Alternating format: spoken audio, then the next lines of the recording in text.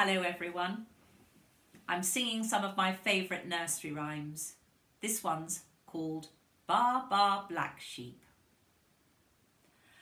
Baa Baa Black Sheep, have you any wool?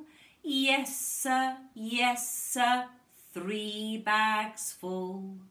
One for the and one for the dame and one for the little boy who lives down the lane.